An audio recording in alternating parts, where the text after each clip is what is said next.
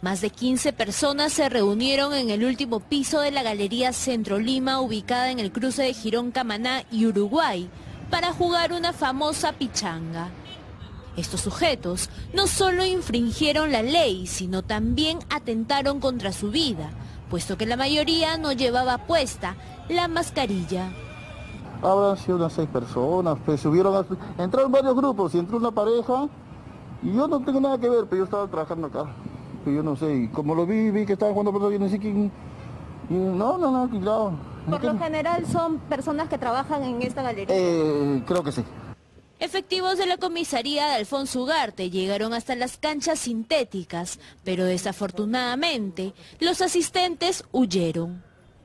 Nos informaron de que aquí había más o menos 15 personas que venían practicando deporte, pero sin embargo este, cuando la policía llegó inmediatamente salieron por las puertas que tenemos ahí en la esquina, ¿no? En el último piso de la galería también se encontraron varias cajas de cervezas.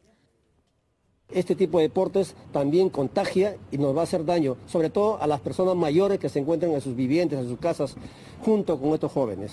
Una acción que pone en peligro sus vidas, pero que también refleja las falencias dentro de nuestra sociedad en plena pandemia. Parece que no aprendemos. En Piura las autoridades han sorprendido a 20 personas en un bar clandestino, mientras que en Huancayo la policía ha intervenido en una cabina de internet que no cumplía con las medidas sanitarias.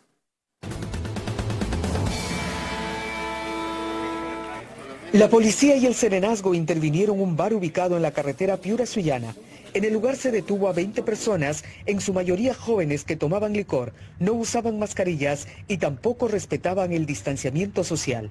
Siete extranjeras también fueron trasladadas a la comisaría. Eh, venga, venga, venga, venga, venga. El desafío a las normas continúa. En Huánuco, un inmueble fue convertido en un bar clandestino que atendía todo el día. La policía rodeó el frontis para evitar que las personas que tomaban licor escapen de la autoridad.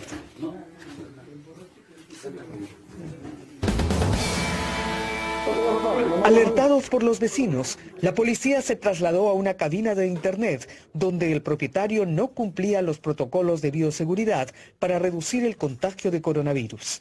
Allí sorprendieron a menores de edad y adultos jugando en línea. El dueño del local fue conducido a la comisaría. En un patrullaje en Puerto Maldonado, las autoridades sorprendieron a 25 ciudadanos tomando licor en bares sin respetar la emergencia sanitaria. A los infractores les aplicaron multas.